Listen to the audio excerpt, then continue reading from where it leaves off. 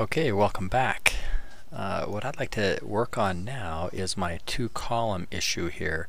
I've got a left column and a right column and they're in the right place but when one gets longer than the other I get this effect. I can't tell these to be a 100% in their height. I've got to use some other method to do it and uh, one method that works quite well is to kind of fake it. And by faking it I mean I'm going to use an image um, a background image that tiles to do this instead. Uh, so let me just uh, go to fireworks here and create the image and you can kind of see hopefully see how it's going to uh, how it's going to work. Alright let me just get a uh, canvas out quick that I can do create on. Alright so I'm just going to draw a rectangle out here uh, and it's a white rectangle um, let me put a little color in it so you can see it for a second. Alright, so what I'm going to do is I'm going to use this white rectangle. Uh, I'm going to make it uh, it's just about the right width, so 770 pixels. Because remember my right hand column, my left hand column was uh, 140 pixels wide with 30 pixels of padding, so 170 pixels. Um, and then I'm going to put a drop shadow on it. Okay, a little drop shadow on it. Now stay with me here. Um, you'll see in a minute what I'm going to do here. So I'm going to put white back in. I don't need all this canvas, so I'm just going to fit the canvas. Now I only really need, because this, this um, image is going to tile, and what it's going to do is going to tile to create create a little border, a little shadowed border between my two columns, which will give a visual indication that there's two separate columns there, and then I'll take the background color out of both columns, and I'll just see this little border. So I really just need a little slice of this. Let me zoom in a bit. Um, so really all I'm going to do is just grab and take a slice of that area right there, and it really only needs to be one pixel. Okay, so I'm just going to cut out a little tiny one pixel high, um, 178 it came out to be because of that, that drop shadow there added 8 pixels on. So it's actually 178 pixels um, wide and 1 pixel high. So let me just get a copy of that out.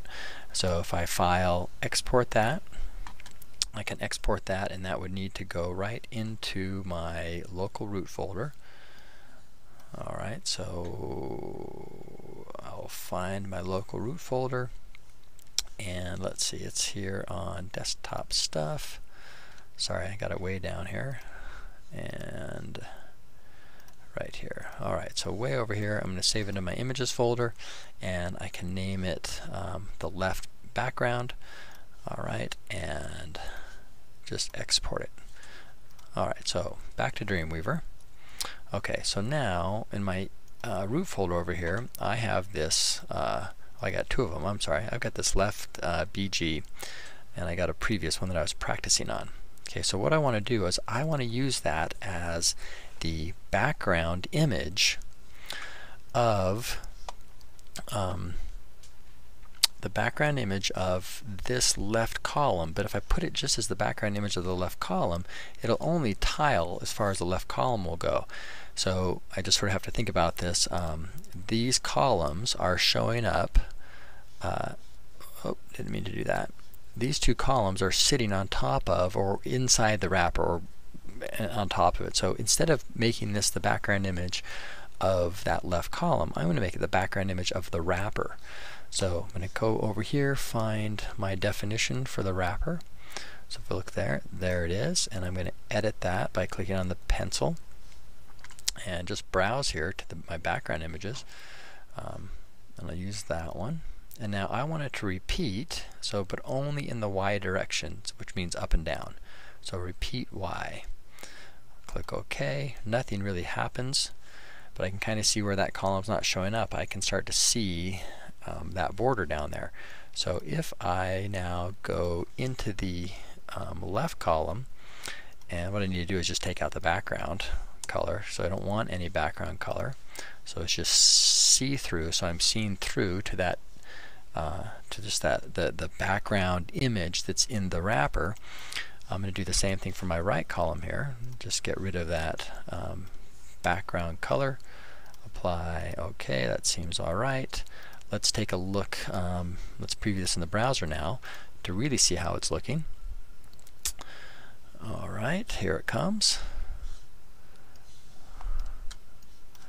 Alright, so getting better. You can see now I had that little tiny image that was just one pixel wide by 178 pixels, um, I'm sorry, one pixel high by 178 pixels wide. So really, really small download, but it creates this little border here. Um, and the reason it's not showing up down here in the blue or up here in my top nav or in the header is that I put it as a background image inside of the wrapper. Um, and these other elements, these other divs, are all sitting on top of it.